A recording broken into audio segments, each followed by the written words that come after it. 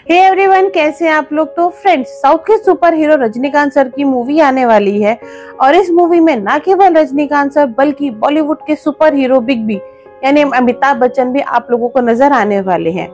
ये मूवी है वेतिया, और ये मूवी कब रिलीज़ होगी वो मैं आपको बताऊँगी अपनी वीडियो में थोड़ा बाद में। लेकिन उससे पहले हम लोग बात करते हैं इस मूवी के ट्रेलर के बारे में, क्योंकि मूवी का ट्रेलर रिलीज़ हो चुका है। तो चले बात करते हैं कि जो मूवी का ट्रेलर है, वो अपने आने वाली मूवी के बारे में क्या बताता है। और ये सब जानने के लिए आपको मेरी वीडियो को एंड तक देखना पड़ेगा। अगर आपको मेरी वीडियो अच्छी लगे तो उसको लाइक और मेरे चैनल को सब्सक्राइब भी ज़रूर करना। ये मूवी एक एक्शन क्राइम थ्रिलर मूवी है, और इस मूवी में एक्शन क्यों ना हो भाई? रजनीकांत सर हैं, और जहाँ रजनीकांत सर होते हैं, वहाँ तो एक्शन होता ही है। खैर, इस मूवी का जो रन टाइम है वो दो घंटा पैंतालीस मिनट बताया जा रहा है।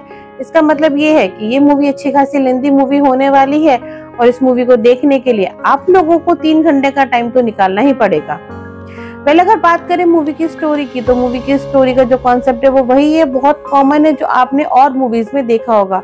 वही ट्रायंगल दिखाया गया है, एक ट्रायंगल के कॉर्नर पर बैठी है पब्लिक एक कॉर्नर पर है सिस्टम या पुलिस और एक कॉर्नर पर है विलन जब ट्रेलर की स्टार्टिंग होगी, तब आप लोगों को नज़र आएँगे, कुछ लोग प्रोटेस्ट करते हुए, और उन लोगों की डिमांड ये है कि उस अपराधी को जल्दी पकड़ा जाए, जो केवल औरतों को ही अपना टारगेट बनाता है. और जिस तरीके से वो औरतों को मारता है, जो केसेस सामने आते हैं, उसको देखकर साफ़ पता लगता है कि वो आदमी कितना ज़्यादा क्रूअल और कितना ज़्यादा मास्टर है. वो औरतों को बहुत ज़्यादा बेरहमी से मारता है और इतनी स्मार्टली मारता है कि वो आज तक पकड़ा ही नहीं गया. बस उसको पकड़ने की ही प्लानिंग की जा रही है और ना केवल पकड़ने की, बल्कि मेन प्लानिंग की जा रही है उसके एनकाउंटर की। और इसी एनकाउंटर की वजह से बुलाया जाता है एनकाउंटर स्पेशलिस्ट रजनीकांत सर को।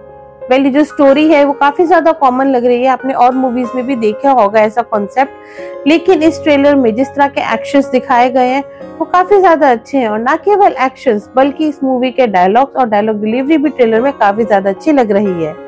अगर इस मूवी के एक्टिंग जोन की बात करें तो रजनीकांत सर ने इस मूवी में मेन लीड प्ले करी है और जो उनका स्वैग है जो उनका एटीट्यूड है, वो वही है पुराने वाला। वो सेम एटीट्यूड और सेम स्वैग में आप लोगों को इस मूवी में नज़र आने वाले हैं।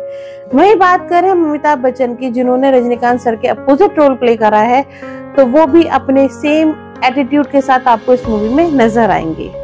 वैसे मैं आप लोगों को एक बात बता दूँ कि अमिताभ सर की ये पहली साउथ इंडियन मूवी है। और अमिताभ सर ने काफ़ी साल पहले रजनीकांत सर के साथ काम किया था। मतलब कुछ तैतीस साल पहले एक मूवी आई थी जिसमें रजनीकांत सर ने और अमिताभ सर ने एक साथ काम करा था।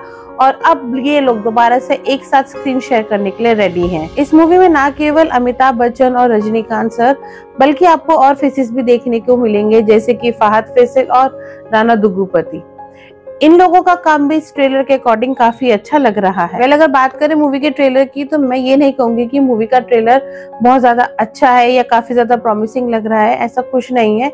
मूवी का ट्रेलर एकदम सो सो टाइप्स का है, क्योंकि जो स्टोरी कॉन्सेप्ट ट्रेलर में दिखाया गया है, वो एकदम कॉमन है।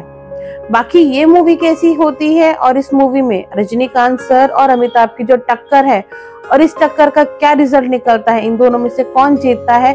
वो तो मूवी के आने के बाद ही पता चलेगा। ये मूवी वैसे रिलीज़ होने वाली है 10 अक्टूबर को, वो भी थिएटर्स पे। इसका मतलब ये है कि आपको तीन घंटे तो निकालने ही है, लेकिन उससे ज़्यादा भी टाइम निकालना पड़ेगा क्योंकि आप लोगों को जाना पड़ेगा भाई मूवी देखने के लिए थिएटर ये मूवी फाइनली कैसी होती है तो मूवी के आने के बाद ही पता चलेगा।